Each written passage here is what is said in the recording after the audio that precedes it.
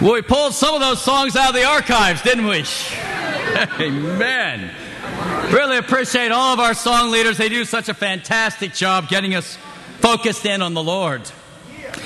If you're uh, visiting with us, uh, you've caught us right in the middle of a study series on the temple of God. And uh, we handed out pamphlets last week. And I know everybody brought it back this week, right?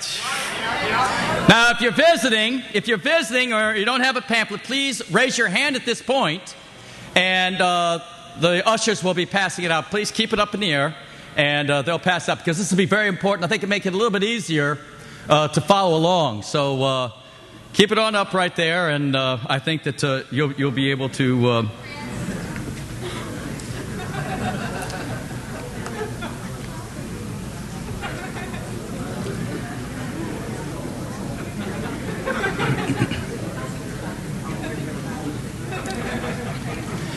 Jesus is Lord, my Redeemer. How he loves me, how I love him.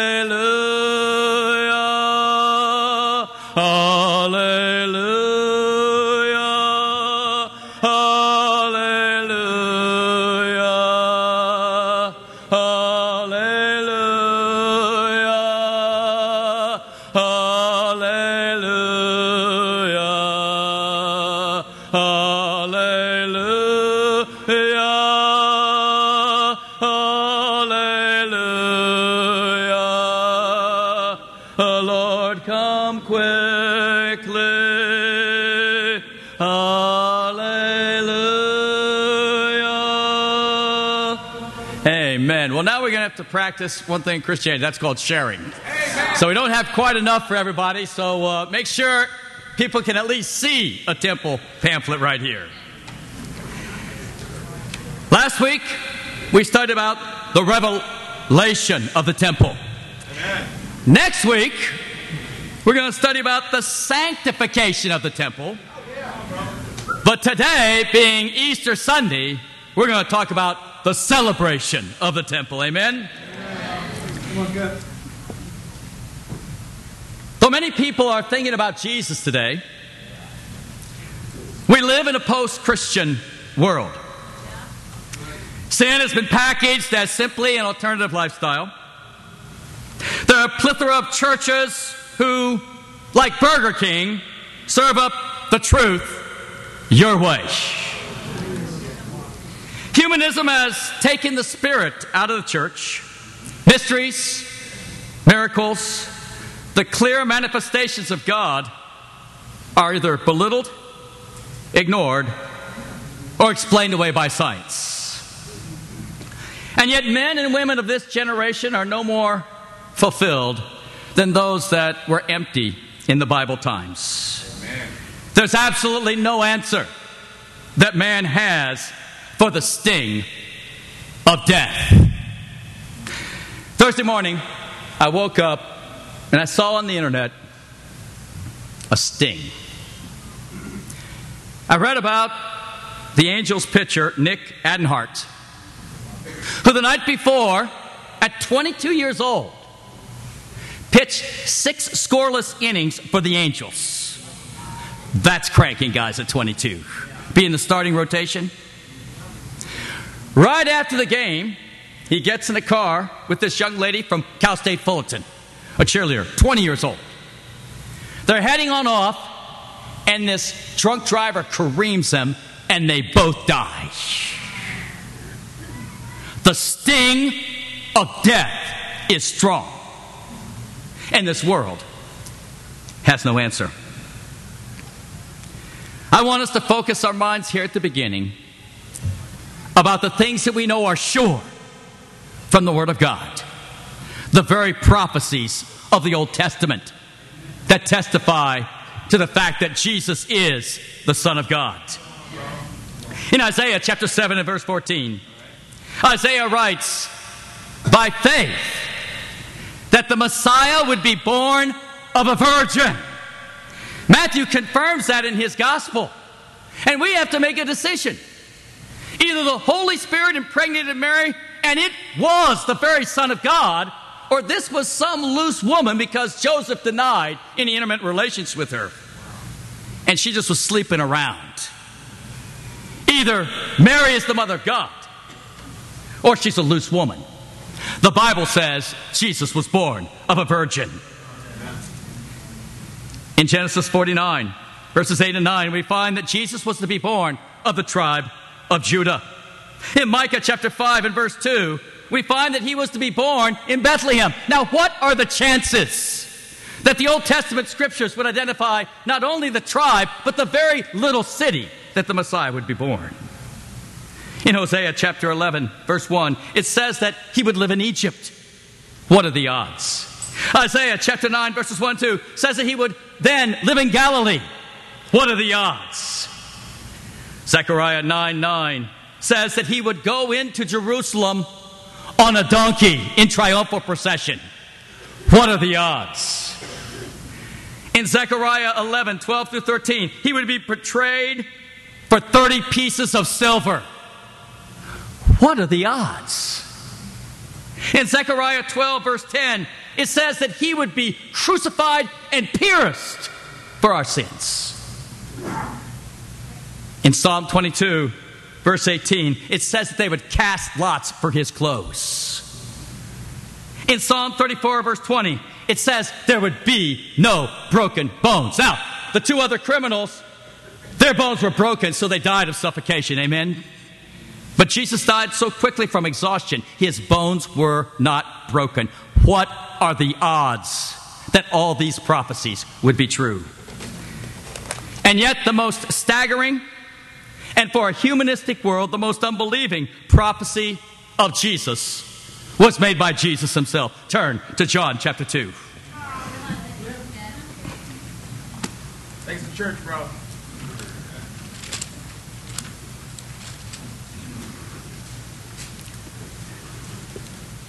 In verse 18. Then the Jews demanded of Jesus, What miraculous signs can you show us to prove your authority to do all this? Jesus answered, Destroy this temple and I'll raise it again in three days.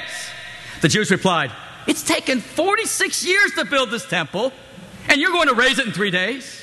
But the temple he'd spoken of was his body.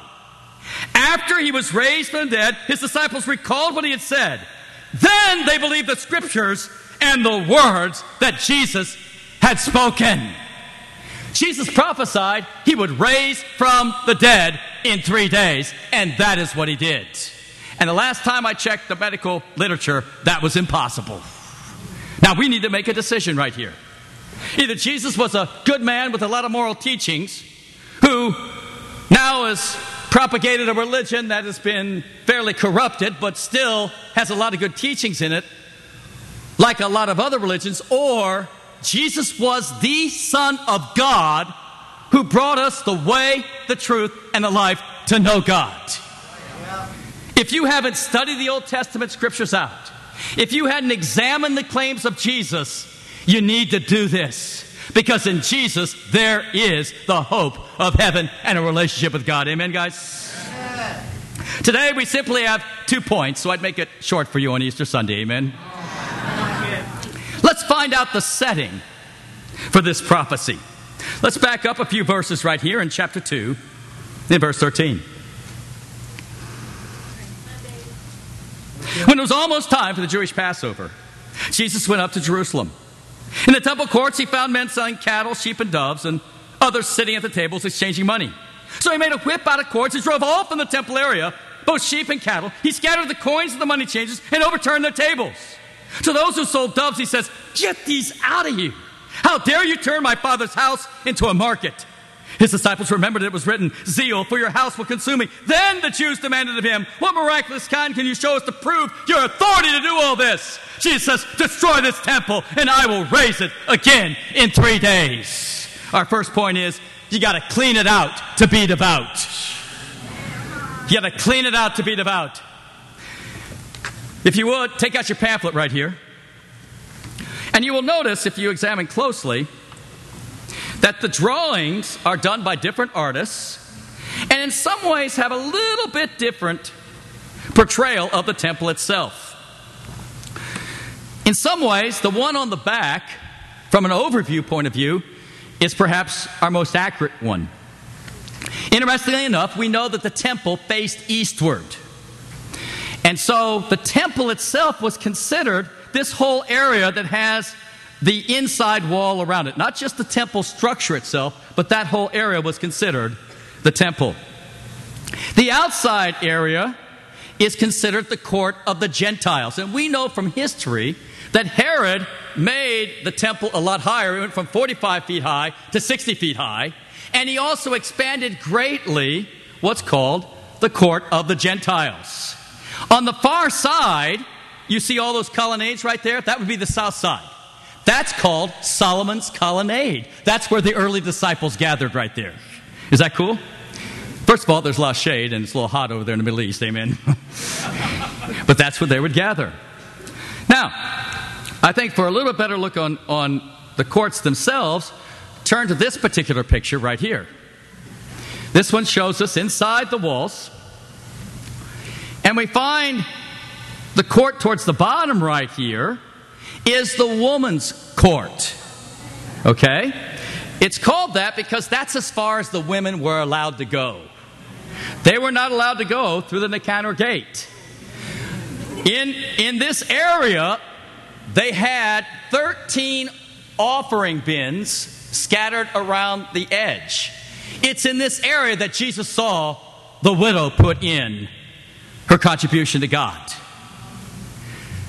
Now, when you see the temple structure and the next court, that next court, after you go through the Nicanor gate, and it was pretty cool, evidently, there were 15 steps of brass that you entered through that Nicanor gate. And then you come and you see the altar, and this area is called the court of the men, the court of the priests, and the court of the Levites. And then, of course, on a daily basis, the priests would go into the first part of the temple. So now you want to go to this picture right here. And you see the altar and the sea. See the pillars. They would enter through the temple to the holy place. And then only the high priest would enter the Holy of Holies or the most holy place once a year. And we'll talk a little bit more about that. Now, when it says that Jesus cleared the temple, the area that they're talking about is the woman's court. Now, if you look at it, that's still a considerable amount of area right there. I mean, he cleared out all the animals, all the people, and his disciples are just standing on the sideline and they can only think of one Old Testament scripture Zeal for your father's house would consume you. I mean, Jesus was full of zeal. Amen, church? Now, in looking at this, though, we need to come back to the scriptures and, and understand that Jesus was not at all going to allow his father's temple to be corrupted by the sins of man. Let's turn to a parallel passage in Mark chapter 11. Come on, Kip. Here we read in verse 15.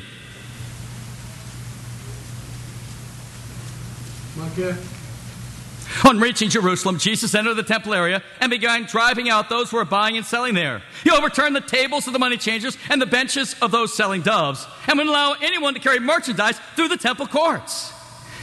As he taught them, he said, Is it not written?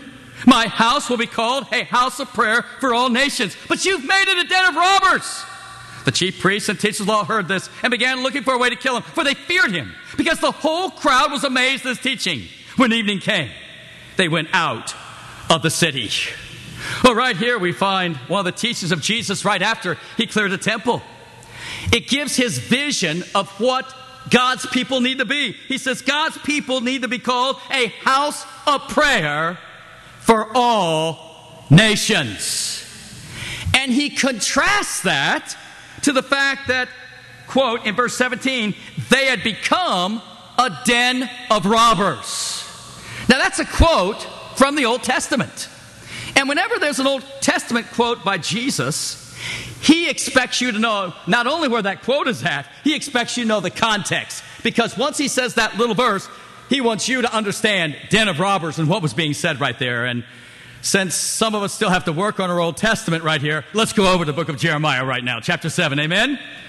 See, God wants you to know your Old Testament. In Jeremiah 7, we find the reference. The reference is going to be given in verse 11, but let's start reading in the middle of verse 2. Remember now, this is Jeremiah preaching. Let's see where he's at. Hear the word of the Lord, all you people of Judah, who come through these gates to worship the Lord. So they're at the temple. So which temple is this? This is Solomon's temple, isn't it? The one that's baptized in gold, the, the extraordinarily beautiful one. This is what the Lord Almighty, the God of Israel, says Reform your ways and your actions, and I will let you live in this place. Do not trust in deceptive words and say, This is the temple of the Lord, the temple of the Lord, the temple of the Lord. You see, the Israelites at this time, they prided themselves that they were, quote, Israelites, and they had God's temple that they got to go up to. And that was their security, was the temple of God. They had totally lost any consciousness of a personal relationship with God. Amen? Look what he says, verse 5. If you really change your ways and your actions to deal with the other justly, if you do not oppose, oppress the alien, the fatherless, or the widow, and do not shed innocent blood in this place, and if you do not follow other gods to your own harm, then I will let you live in this place, in the land I gave your forefathers forever and ever. But look, you're trusting in deceptive works that are worthless. Well, you steal and murder, commit adultery and perjury, burn incense to Baal, and follow other gods you've not known, and then come and stand before me in this house, which bears my name, and say, We are safe. Safe to do all these detestable things? Has this house which bears my name become a den of robbers to you? But I have been watching, declares the Lord. Go now to the place in Shiloh where I first made my dwelling for my name, and see what I did to it because of the wickedness of my people Israel. Well, you remember from 1 Samuel, the Lord decimated Shiloh, and of course, the ark was taken away from God's people at that time signifying that God had left his people. He says, Remember what happened at Shiloh. If you don't change, if you don't clean it out to be devout, the same thing is going to happen to the temple. And in fact, it did happen. Amen, church? You know, I, I understand this scripture in Jeremiah all too well. Yesterday was a very, very, very special day for me. It was my 37th spiritual birthday.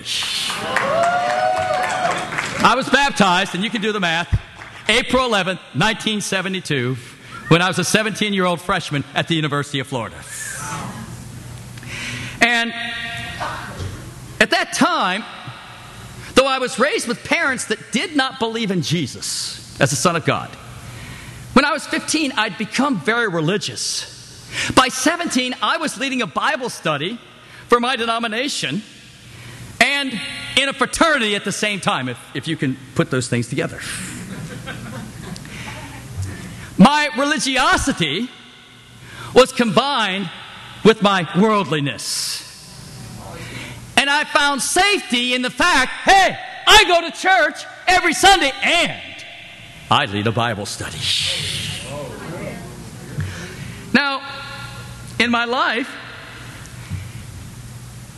I was enslaved to lust, enslaved to pornography, enslaved to masturbation. Women were things. But I found safety in the temple of the Lord. At that particular time in my life, there was an expression back in those days, in, in, in the 70s. Somebody that had a lot of clothes and liked to buy nice clothes, they were called a clothes horse. That's what I considered myself. I still remember Elena's gall when I brought out my silver shirt. I used to wear these two inch heel shoes back then. And those are my short ones.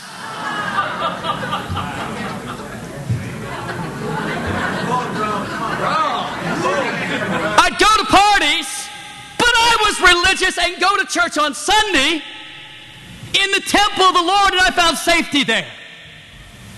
I was so deceived. I praise God that one of my fraternity brothers, a guy named Jim, started studying the Bible with me and laying out what it meant to become a follower of Christ.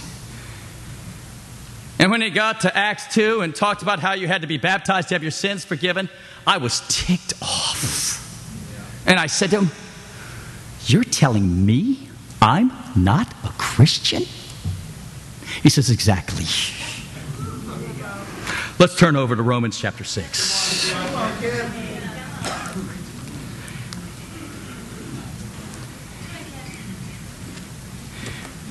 For many in this world, baptism is just a ritual,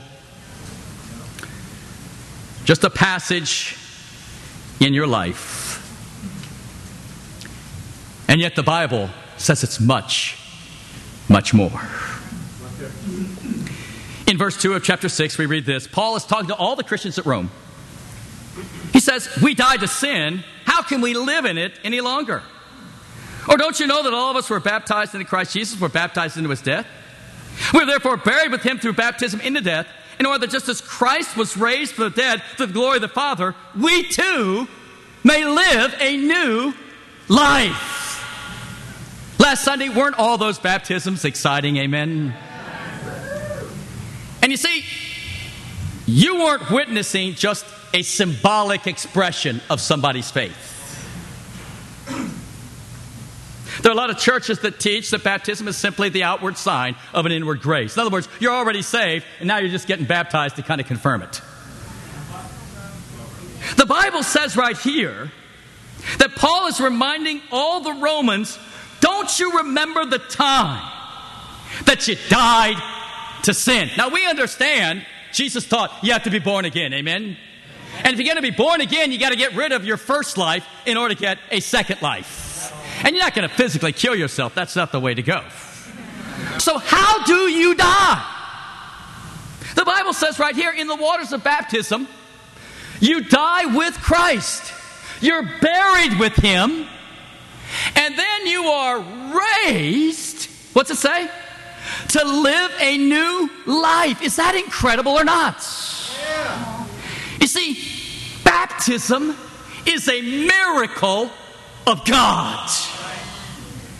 And we've lost this sense of awe of the Word of God, that people's lives can actually change that radically. Come on, bro. What was Jesus' vision for the church? A house of prayer for all nations. In other words, every person was to have a personal relationship with God.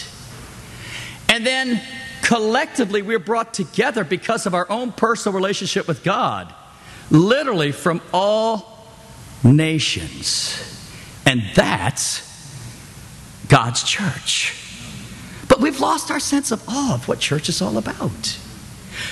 If you're sitting next to a baptized disciple, you're sitting next to a miracle. Is that awesome? Doesn't that send a little chill up your back? This is a miracle. Are we saying they're perfect? No. That's what makes it all the more miraculous, right there. But we've lost our sense of awe. We've lost our sense of the miraculous. We have been so inundated by humanism to think that today you are coming to worship God with a bunch of miracles. Is that exciting? Amen. You know, this past uh, Sunday, our contribution was amazing. I just got to commend the whole church for your incredible hearts of sacrifice. Some of you sacrificed so much, so much like that widow that put in everything she had to live on. And the Bible says right there in Jeremiah 7 that God is watching. God knows. But sadly, there were, there were a few of us who held back. Because we, we, we lost our sense of the miraculous. We lost our sense that what we were giving to was for there to be people to be baptized in Santiago, Chile. That if we don't get the money to them, there's not going to be baptisms. We lost our sense of the miraculous that we want to put on Michael and Michelle full time so they can train to go to London, England next summer. I mean, that's why you didn't work super hard to give everything you could to serve. And of course, today brings another test. We made a pledge before God. God is watching, God is real. How about it? Are we going to give? Are we going to come through with the pledge that we've said we, we're going to give to God? Or do we have some excuse that, quote, is more important? So we got to have a deep conviction, guys. We got to clean it out to be devout. And you clean it out to be devout, not just when you're baptized, but even after you're baptized. Because it's amazing what can begin to happen to you even after you're baptized. You know, one of the, uh, the, the, pictures that I, I also enjoyed in there is uh, Cammie's picture. She's gone back to Honolulu and she's a part of the church there now. But she's very open about her life. She and her husband became disciples back in the 90s. They married, and then they fell away. And as of a few weeks ago, each was living with a different person. And she's very open about it. She repented. She called her husband out, tried to ask forgiveness, tried to get him to repent. I mean, it's amazing how far out there we can get. I, I still remember when uh, Kathy and Luchak came to the church for the first time. And I appreciate Kathy's openness as a sister in the Lord. She's incredible. Even though she was going to church, she was starting to go after a relationship with a man in the world. She's very open about it. She wrote about an article. I mean, our lives need to be transparent. See, sometimes people fall away and they totally leave the church and their life is just empty and unfulfilled. It certainly has no answer for the sting of death. Yeah. On the other hand, there are some people that continue to go to church because they're in the temple of the Lord and they're safe and they're all right. But I'm here to tell you, you got to clean it out to be devout. Are you with me right here? Is there anything in your life that Jesus wants out? You need to make that decision today. Because Jesus wants you to be a part of a house of prayer for all nations. Amen? Let's move on. Matthew chapter 27.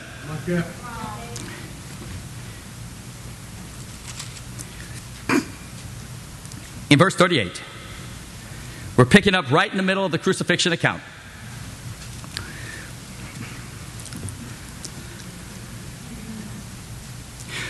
Two robbers were crucified with Jesus, one on his right and one on his left. You remember that picture in your mind? Those who passed by hurled insults at him, shaking their heads and saying, You who are going to destroy the temple and build it in three days, save yourself! Come down from the cross if you're the Son of God. Wow! Everybody heard about this prophecy. Destroy the temple and I'll build it in three days. I mean, they're mocking him on the cross. They didn't understand that he was talking about his body. And after he resurrected, that's why the disciples believed so much and were willing to go to their death. You know, in a few weeks, Elena and I are going to be taking on off for a missionary trip. We'll be going to London, Moscow, but we're also going to Chennai, India. And uh, Chennai, India is, is an incredible place. And our brother there, Raja, called me on up. He says, Brother, is there anything that you want to do? I said, You, you come up and you, you, fill out the schedule as far as preaching the church, getting with the leaders, and all that. I just have one request. He says, What's that? He says, I want to go see the tomb of the Apostle Thomas. The Apostle Thomas preached the word all throughout India, and his tomb is in southern India. And, I, and, he said, Well, why, why, why in particular want to go see? I said, Well, you know, bro, my, my real name is Thomas. Oh, yeah, I forgot about that, bro. Amen.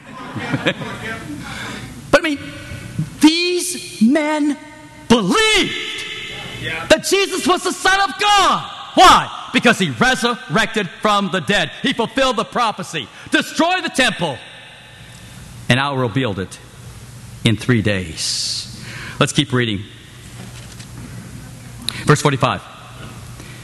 From the sixth hour until the ninth hour, darkness came over the land. Now, Jesus was crucified, we know this from the book of Mark, at the third hour, at 9 a.m. in the morning. Sixth hour is noontime. Now, you got to admit, if you're over in the Middle East, it's pretty sunny there most of the time. And at noontime, if it starts getting dark, that's pretty creepy. So it's getting really dark now in the middle of it.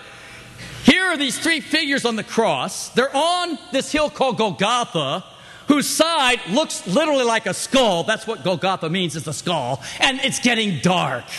Wow, does that send a shiver up your back right there? Verse 46. About the ninth hour, 3 p.m., Jesus cried out in a loud voice, Eloi, Eloi, lama sabachthani, which means, My God, my God, why have you forsaken me? When some of those standing there heard this, they said, He's calling Elijah. Immediately, one of them ran and got a sponge. He filled it with wine vinegar, put it on a stick, and offered it to Jesus to drink. The rest said, Now leave him alone. Let's see if Elijah comes to save him. And when Jesus had cried out again in a loud voice, he gave up his spirit. At that moment, the curtain of the temple was torn in two from top to bottom. The earth shook and the rock split. The tombs broke open. The bodies of many holy people who died were raised to life. They came out of the tombs. And after Jesus' resurrection, they went into the holy city and appeared to many people. When the centurion and those with him who were guarding Jesus saw the earthquake and all that happened, they were terrified and exclaimed, Surely he was the Son of God. Here is this pagan soldier who sees the darkness, who hears the words of Jesus, who feels the earthquake, sees the rocks exploding, and he goes, That was the Son of God. And he held him in awe. A pagan soldier. Our second apart point torn apart to reveal God's heart. What a moment there. In the darkness at three in the afternoon, as Jesus cries out, It is finished. Into your hands I give my spirit. And he dies. When he dies, the Bible says there's not only an earthquake. I mean, that, that sends a signal. I mean, guys. But look what he says right here. Verse 51. At that moment, the curtain of the temple was torn in two from top to bottom. Well, well, let's let's get our diagrams out again here. We want to go to big picture. We see the entryway, the altar, the bath, going inside. The first room, the large room, is the holy place. Then you see the curtain right there, and then behind the curtain is the most holy place where the ark is at. Now, let's learn a little bit about this. Turn to Exodus chapter 26.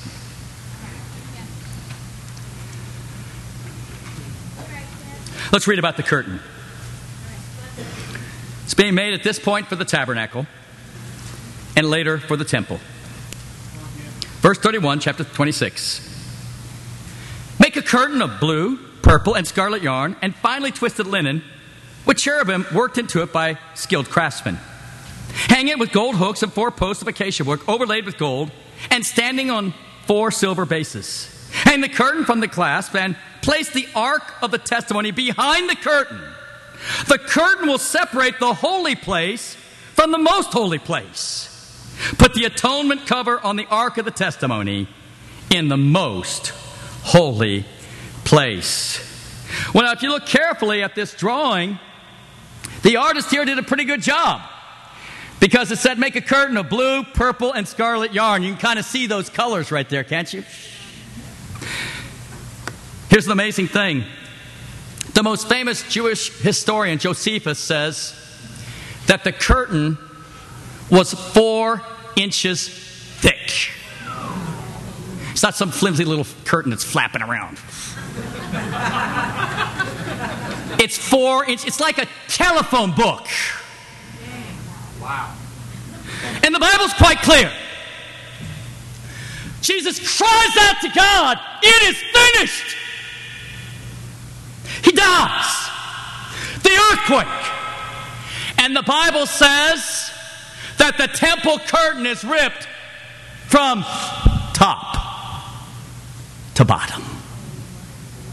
Not bottom to top, because that, a man would do that. Rip it like this. It was God who ripped it. Josephus adds that no two horses could have pulled apart the curtain of God. It was that thick, that sturdy.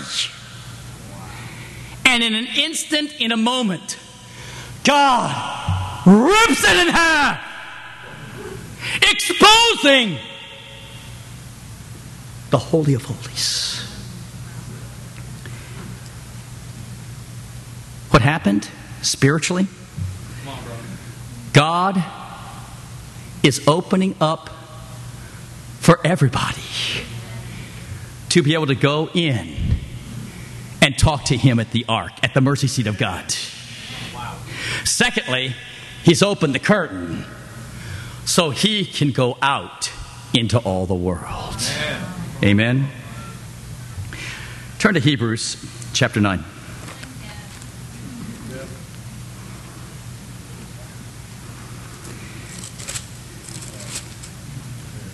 In verse 7, we read, But only the high priest entered the inner room. That's the Holy Holies. And that only once a year, and never without blood, which he offered for himself and for the sins of the people who had committed in ignorance. Now, chapter 10, verse 19. Therefore, brothers, since we have confidence to enter the most holy place. Now, is this awesome? By the blood of Jesus, by a new and living way open to us through the curtain that is his body. And since we have a great priest over the house of God, let us draw near to God with a sincere heart in full assurance of faith having our hearts sprinkled to cleanse us from a guilty conscience, and having our bodies washed with pure water. Let's just stop right there. Go back and read Leviticus chapter 16. And you will find that once a year, the high priest was commanded by God to go into the Holy of Holies on the Day of Atonement, or we call it Yom Kippur. I kind of like that name for some reason. and when he went in there, the first thing he would do is he would take the blood of a bull and he would sprinkle on to the top of the ark, which was called the mercy seat. Remember the, the cover is the mercy seat? It's got two angels on it. And in between the two angels and the, the cover right here, God speaks to the high priest. The first thing the high priest was to do is to sprinkle onto the mercy seat the blood of a bull. That was for his sins and the sins of his family. Next, he would go in and he would throw onto the mercy seat the blood of a goat. But here's what had happened previous there was not one goat that was brought to the temple for the sins of the people, but two goats. A lot was cast on which goat would be sacrificed.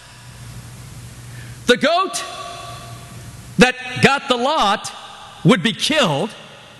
His blood would then be taken into the Holy of Holies, sprinkled on the mercy seat, and the other goat would be taken outside the city and let go, representing the fact that all the sins of the people were being taken away. The Bible calls that goat the scapegoat.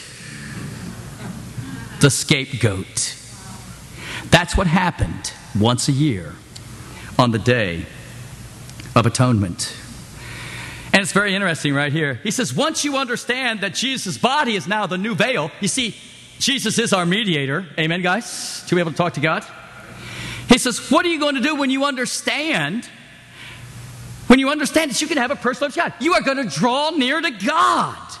How? Well, our bodies have been sprinkled with blood and washed with clean water. That's talking about baptism right there. And look what he says next. Let us hold unswervingly to the hope we profess, for he who promises faithful. And let us consider how we may spur one another on towards love and good deeds. Let's not give up meeting together as some are in the habit of doing, but let us encourage one another, and all the more as you see the day approaching. He's saying, man, do you understand what a privilege it is to be able to draw near to God? He says, that's what church is. It's a collection of all those people who come to God because of the blood of Jesus Christ. How about it? Was that your thought in coming to church today? Or you coming today because, well, it's Easter Sunday? You know, one of the things that's amazing as we get back to our text there in Matthew, in Matthew chapter 27. In keeping with our second point, torn apart to reveal God's heart. The Bible says not only was the veil torn from top to bottom. The earth shook, rocks split. Now, this would be kind of cool. You know how firecrackers kind of go boom and little shreds go different way? When Jesus died, you see all these rocks exploding. That, that would be cranking right there. Amen, guys? Then, get this verse 52. The tombs broke open, and the bodies of many holy people who had died were raised to life. Whoa! They came out of the tombs, and after Jesus' resurrection, they went into the holy city. My question is, what did they do for those two or three days? They probably got together. I don't know. They've been dead for a while, so it's time to fellowship a little bit. But can you imagine seeing one of the dead holy people come into the city? Oh my gosh, it's Samuel. It's Moses. I mean, that'll get you to believe. Amen, guys? Why? Because someone resurrected from the dead, and you know scientifically and medically it's impossible. And the moment you see dead people being alive, you go, I believe. but that's the point about Jesus! But we take it so much for granted. The humanism has stolen the miraculous from our hearts. You know what gets me, though? Is this pagan centurion. He saw it all. And he goes, Surely, this was the Son of God. You know, this, this morning we're going to be able to witness a miracle. A gentleman named Roland Abrigo Riveras, and he was a Marine. He was a pagan soldier. He was in the Marines four years. He then went to USC for four years and got a degree in accounting informational systems. In other words, he works with computers. Amen, guys? And about a year ago, and he's 30 years old now, he was in a car wreck. A car wreck in which his, his car turned over several times in the midst of it, he just cried out to God God, spare me, and I'll seek you. He was in a coma five days. Time passed. That happened last St. Patrick's Day. And a few weeks ago, Ken Zindler was making his usual pit stop at Starbucks Coffee. And there was Roland. Amazingly as it sounds, his first study was on St. Patrick's Day just a couple weeks ago, on the year anniversary of the car wreck. And today, this once pagan soldier is now going to become a son of God and your brother in Christ. And when you see him go down in the waters of baptism, it's not just a symbol. You are seeing a modern day miracle.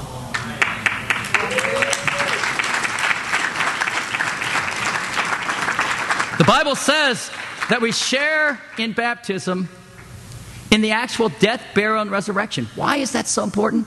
Because when Jesus died, that's when he shed his blood. And what forgives us of our sins? But the blood of Jesus Christ.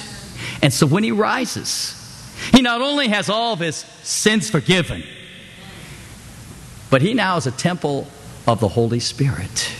And the Spirit of God lives in him. Is that awesome? Turn to Hebrews chapter 4. Close out.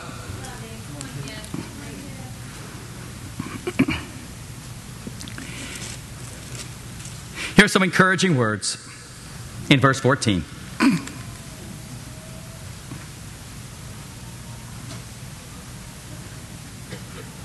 Hebrews 4, verse 14. Therefore, since we have a great high priest who's gone through the heavens, Jesus, the Son of God, let us hold firmly to the faith we profess.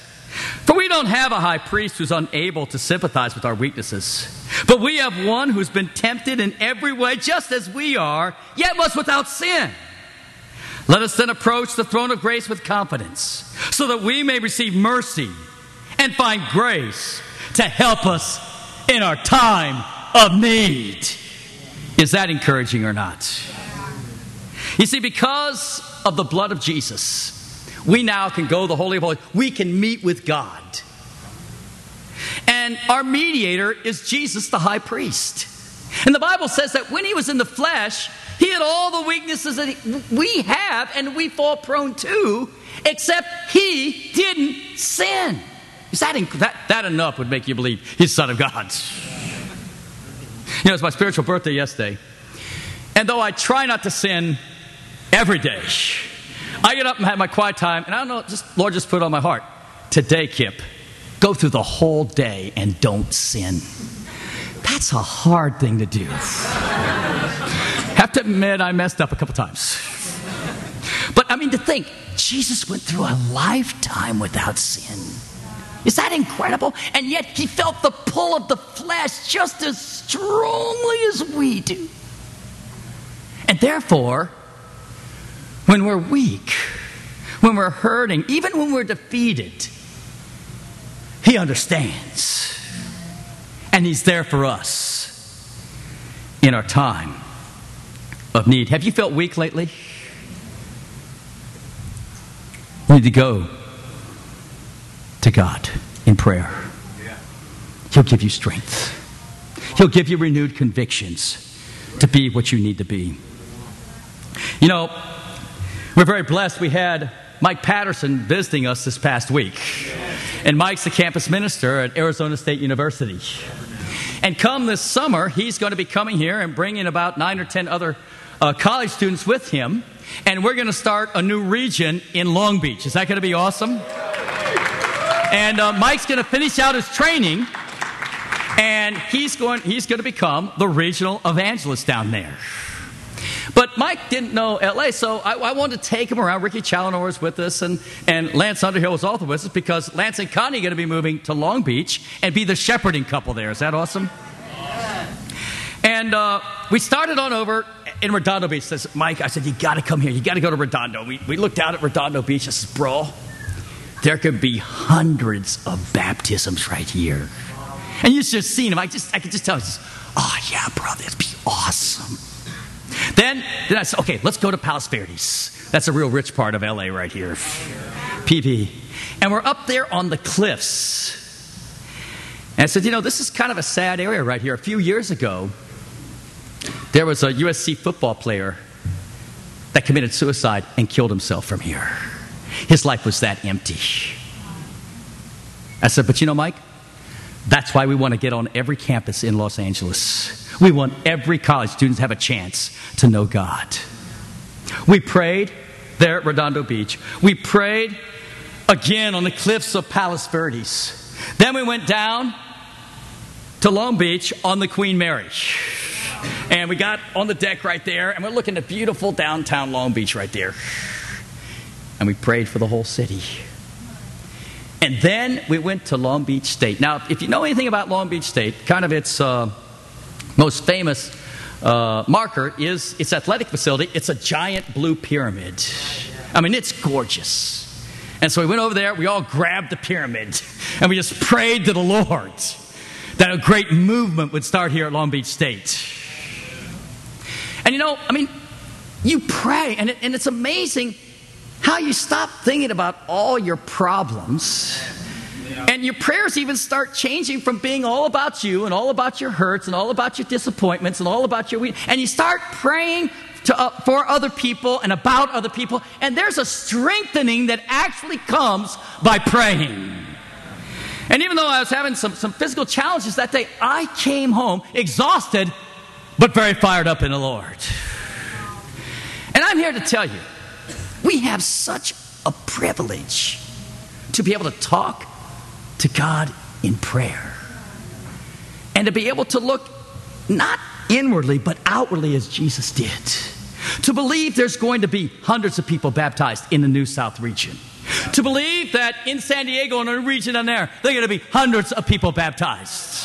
What's kind of cool as I, as I came into to church this morning, I got a text from Tim Kernan over in London, and they had three baptisms this morning. Is that awesome? I mean, these are miracles that are taking place all over the world. God is moving. And so, what's our challenge? Very simply this clean it out to beat about, remembering that it has been torn apart to reveal God's heart. Thank you, and God bless.